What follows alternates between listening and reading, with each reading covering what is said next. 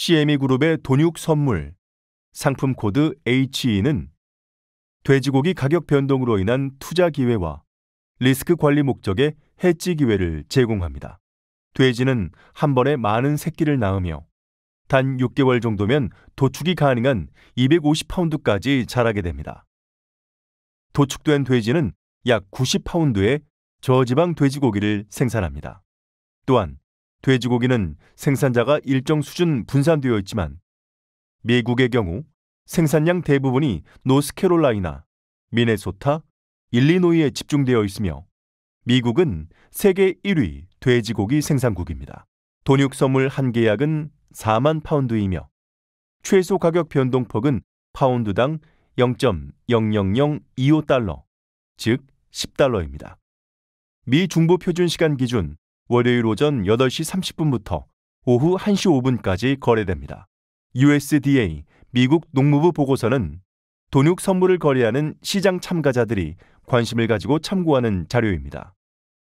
USDA는 분기 보고서에서 대상 집단 규모와 관련한 중요한 데이터와 함께 다양한 종류의 돈육 집단에 대한 정보를 제공합니다.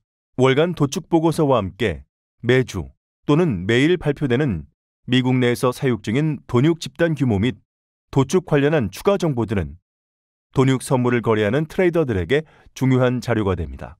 트레이더들은 이와 같은 다양한 USDA 보고서와 함께 기후 및 곡물 시장의 정보들을 함께 고려해 거래 전략을 수립합니다.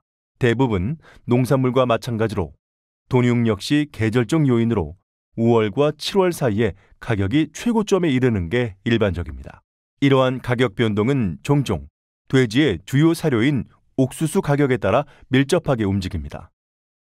옥수수 가격이 비싼 시기에는 돼지를 원래 도축 중량으로 사육하는데 많은 비용이 들어 돈육 가격 상승으로 이어집니다. 10월과 11월의 옥수수 수확기에는 돈육 가격이 비교적 낮은 수준으로 하락합니다. 마지막으로 특히 개발도상국들의 육류 소비가 증가하고 이들 국가들의 육류 수입이 증가하면서 돈육 수요 구조가 변화하는 모습을 보이고 있습니다. 이러한 육류 소비 증가는 특히 중국에서 두드러지고 있으며 중국은 돼지고기의 주요 생산국이자 소비국입니다.